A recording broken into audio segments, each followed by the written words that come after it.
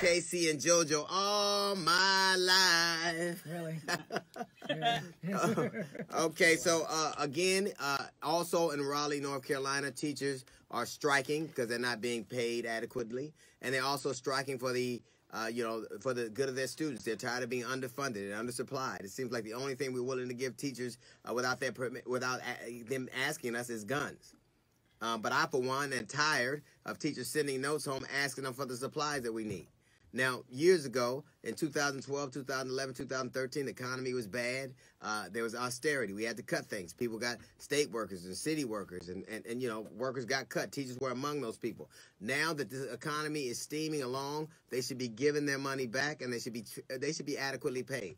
It is time to start investing in our teachers again, who have our youth in the in the core of their hands. If if it takes a village to raise a child, it is a teacher that is at the head of that village everywhere we go north carolina arizona oklahoma west virginia. I mean it's hard to believe but they do have teachers in west virginia. And they should be paid adequately. We have we, we, we overburden them. We make them our, our counselors. We make them babysitters. We make them educators. We make them cafeteria people. We make them social workers. And now we want to make them police officers. And we don't pay them for any of them it is time that America does what it's supposed to do. Instead of paying, making billionaires out of people who do absolutely nothing but ruin this country and ship jobs off, how about people that have everything to do with how well this country does? The reason that we have people who are who are under, under uh, underemployed and don't have the jobs because they don't have the education. Let's invest in the education that we know we need. I know this is weird coming from a dude who has a GED, but I can see the area of my ways. It is it is teacher after city after city, state after state, we're seeing teachers rising up and talk about how they're not being treated fairly and not being paid adequately. You get what you pay for.